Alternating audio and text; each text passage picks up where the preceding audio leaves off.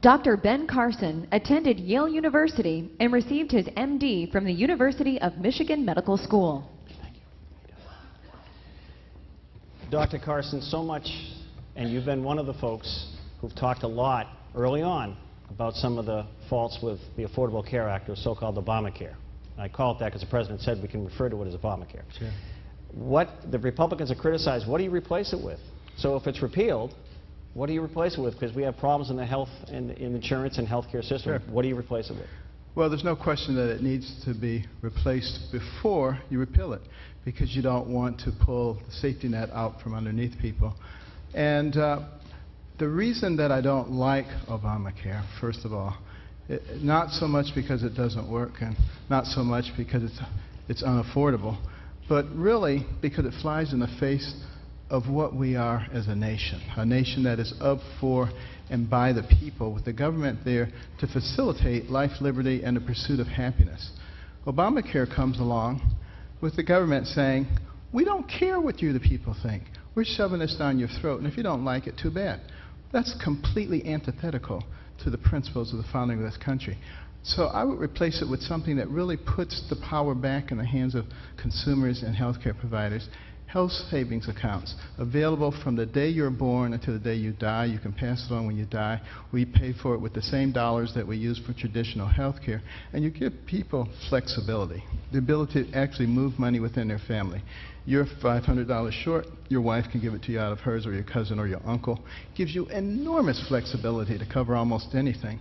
Um, and then your catastrophic health care costs a lot less because virtually nothing is coming out of it except for catastrophic health care.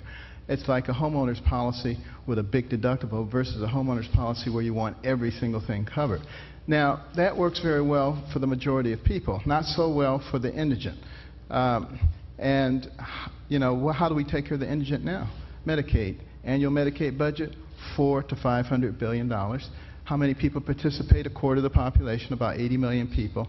80 million into 400 billion goes 5,000 times, $5,000 each man, woman, and child in America. What could you buy with that? Uh, a concierge practice. Most of those cost between two and three thousand dollars a year. Still have a couple thousand left over for your catastrophic insurance. I'm not advocating we do that. I'm saying that's how much money there is. And think about what happens. Uh, first of all, Washington would say you can't give health savings accounts to the indigent because they're too stupid and they wouldn't be able to manage them. Uh, they think everybody's like them. But the fact that that's not true. And uh, in fact, you know, they said that about food stamps, and people learn how to manage food stamps. And they would learn this too. Mr. Jones, who has that diabetic foot ulcer, quickly learns not to go to the emergency room, spend five times more. He would go to the clinic, same treatment, but instead of just sending him out, they say, now let's get your diabetes under control so you're not back here in three weeks with another problem. He's learning personal responsibility, and we're doing things that teach that rather than dependency. A quick one for you. Some of our participants tonight are in the Senate because they had a vote tonight. One of the measures, Planned Parenthood. Should taxpayers fund Planned Parenthood? Absolutely, they should not fund Planned Parenthood. You know, they, uh, these recent videos show the atrocity of that and the level of depravity that we have sunk into as a nation. And we simply have to stop that. If people want to do it, let them take money out of their pocket. Let them find other depraved individuals to help them. We have another doctor in the audience. There may be more, Dr. Carson, but Dr. Oscar Green of Londonderry submitted this question. When elected president, what is your game plan to reform the tax code? Uh, well, you know, I base mine on who I believe is the fairest individual in the universe. That would be God. And uh, he said, I want a tithe. He didn't say if your crops fail, no tithe. And if you have a bumper crop, triple tithe. So there must be something inherently fair about proportionality, and that's what I would do. Um, it would have to be somewhere between 10 and 15 percent initially, um, and there'd be no deductions and no loopholes. We'll come back on your second round. Thank you, Dr. Carson. Thank you.